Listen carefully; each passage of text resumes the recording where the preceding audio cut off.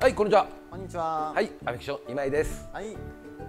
長々とお待たせしているえー90系の牧師はい。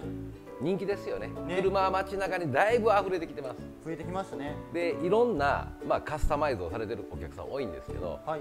うちのアフィクションとしては今回この90系牧師に関してエアロパーツフロントスポイラーはなんとうちの製品ではないんですお、はい GR の GR。はい、トヨタさんが売っている GR のフロントスポイラーを装着しました。はい。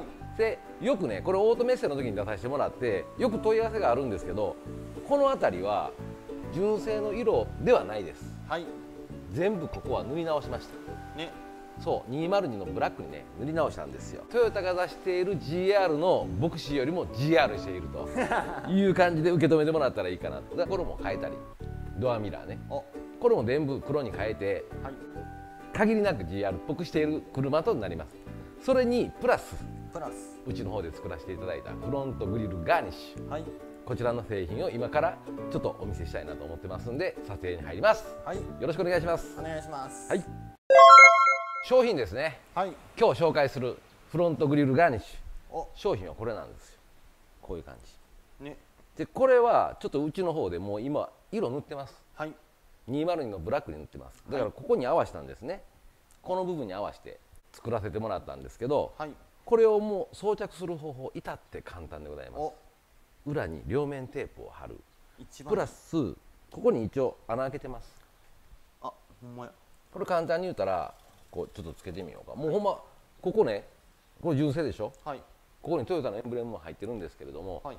マークレスにもなるという簡単にね、もうここに貼り付けてもらうだけでございますこのように貼り付けてもらうだけほで両面テープでここしっかり留めるう。はい。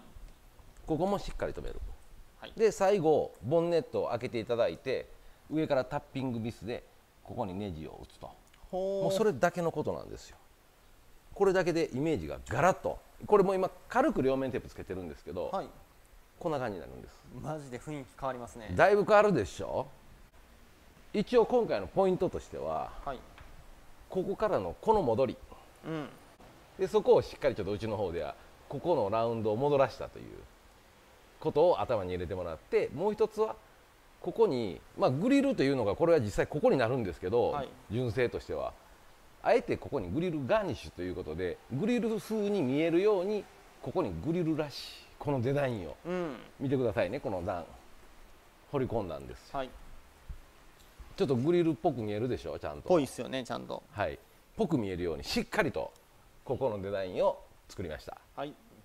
一回ちょっと貼り付けるとこ見せようか。お願いします。これ今先ほど言った通り色は202のブラックに塗っているんです。はい。この塗った分の製品も出させてもらいます。お、塗装ありも販売塗装ありも販売します。塗装ありはこの202ブラック、はい。もしくはまあガンメタっていう。断メタ。もしくはシルバー。シルバちょっとこのシルバーかガンメタにするかはちょっと考えさせてもらうんですけど。ー。はい。これ今塗ったやつ、はい。これ塗ってない素地です。お、こういう感じで違うんです。色分かりにくいと思うんですけど、うん。これはもう全く今製品の状態です。だからお客さんにデリバリーするのはこの状態と思ってください。ここからお客さん。ね。その通り。ですお客さんの方で、まあ、お知り合いの塗装屋さんとか、はい。お店さんの方で塗装していただいて貼るという感じで思ってくれたら結構です。はい。でこっちはもう塗装済みですからね、塗装済みの方がさ、はい。余裕で綺麗ですもんね。はい、で取り付けのね例をもう一回出させてもらうんですけどこれまああの先ほど言った素地の部分なんですけど、はい。裏こんな感じです。お、もう至ってシンプルですよね、はい。で両面テープ貼るのはもうここですよね。あとこの縁。あ、はい。あとここ。まあどこまで貼るかっていうのはもうお客さん決めてもらったらいいと思うんですよ。はい。でただこれ今塗装するとまた両面つけてると大変なので両面テープは付属とします。はい。それとあとタッピングビス2本。はい。こちらは付属となりますんで、はい。一応軽く止めますね一回。お。一回見せます。はい。はい。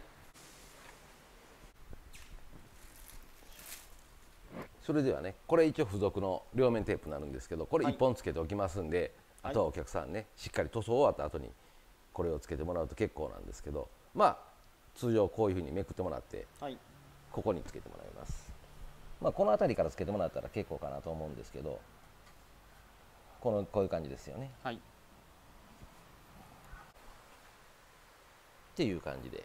で最後は切ってもらったら OK です。こういう感じでここと、まあ、いわゆるこの部分とはい。で下の部分とつけてもらったらいいかなと、はい。一回試しで全部つけてみましょうか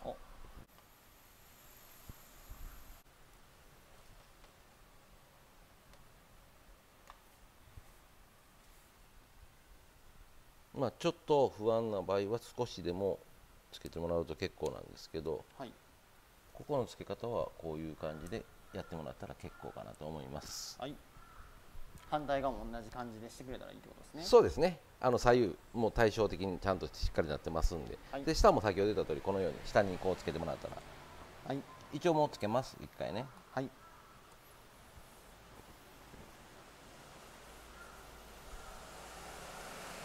まあほんまに貼るだけなのではい。ただ貼る前にはボディのモーティングをされてないにしてもしっかりと脱脂してください。はい。はい、あのしっかりと油分は取った上で貼り付けてもらったら結構かなと思うんですけどこういう感じになりました。はい。これを貼ります。でポイントなんですけどね。はい両面テープこの端っこの方はもうこれ全部剥がしてもいいのかなと思うんですけどはい。こう全部ねこう剥がしてから入れ入れてもらったらいいんですけどはい。ここに関しては全部剥がしてからつけるのはやめてくださいね。お。できれば端っこを剥がしますよね、はい。こっちも剥がしますよね、はい。ならこう帰りでここ戻るんで、はい。こういうふうに押さえてもらってでこのまま、まあ、左右を見ながらねしっかりと。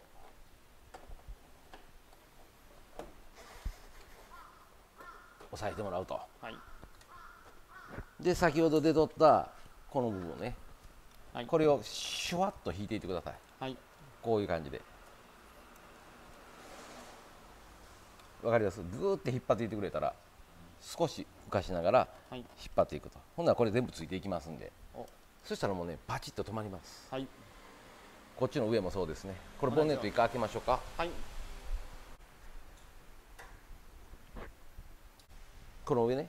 はい。これもしっかり押さえてもらって。とまあプラスドライバーで付属のこのネジはね。はい。もうドライバーでここに穴開けてもらうだけです。はい。でまあ、ここは穴開けても、まあ、外した時にそうこの上から見えることないんですけどあと脱落防止のためにもこちらは必ずここでタッピング入れといてください。はいはいちょっとほな止めますね。はい。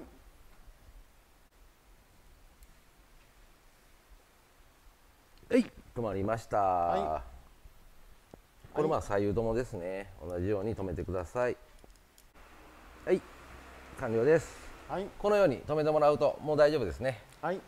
でこれをあとボンネットを閉めてもらって完成となります。